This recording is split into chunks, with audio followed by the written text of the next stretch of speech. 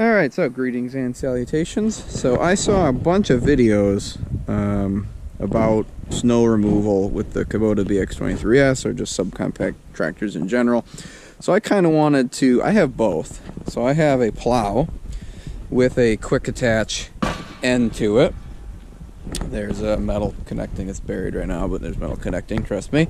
Uh, so I have a plow here that I'm going to hook up and and use. It's able to be turned. There's a little pin system on there, so you can turn this whole thing. Uh, and then I have just a regular bucket.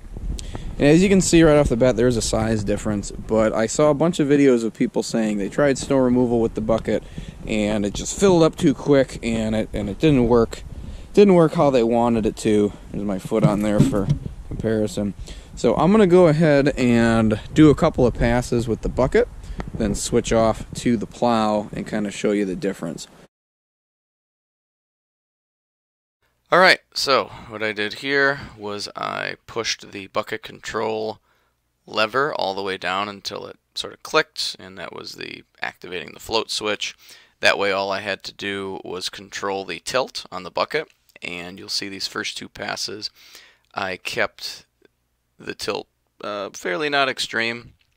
I didn't want to hurt the grass the first two passes, but the second two that you'll see coming up, I got a little more daring and angled the bucket a little more, a little down further, uh, so that way I'd scalp the grass a little closer. And as you can see, I got a lot more snow pulled out of that one, but I did bump into the grass and rip some of that up. So you will get more out. The bucket will kind of fill up, and you want to be very careful that you don't uh, overfill the bucket. Otherwise, you'll have little streaks here and there. But for the most part, it did really well, and I really wouldn't feel like I had to go over it again.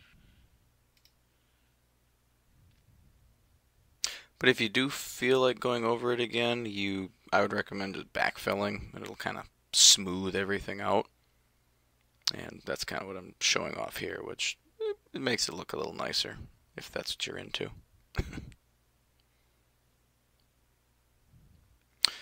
Alright, so now for the plow.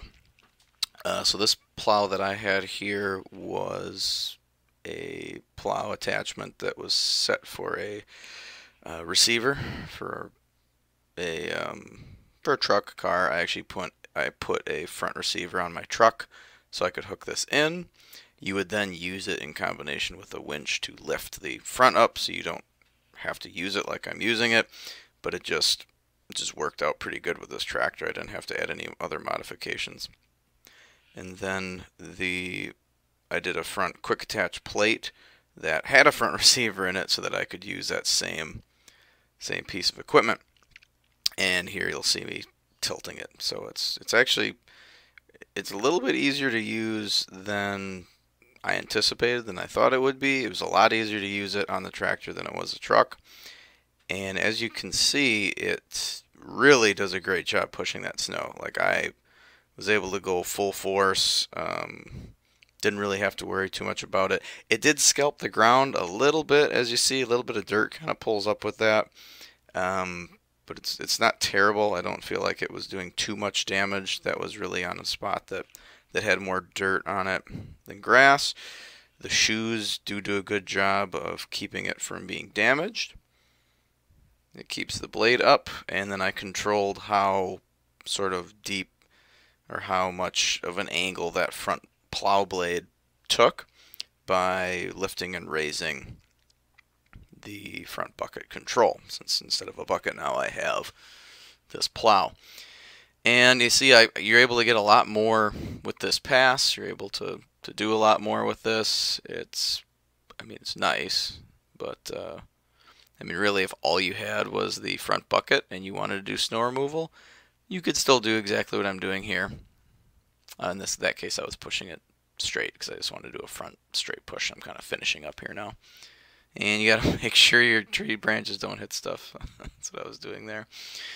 Uh, and then uh, one thing to note on this particular setup I have, in order to set it back down and use it, I actually push it onto the ground and then back up slowly and kind of set it into place, which at first it's kind of cumbersome, but you get used to it after a little bit.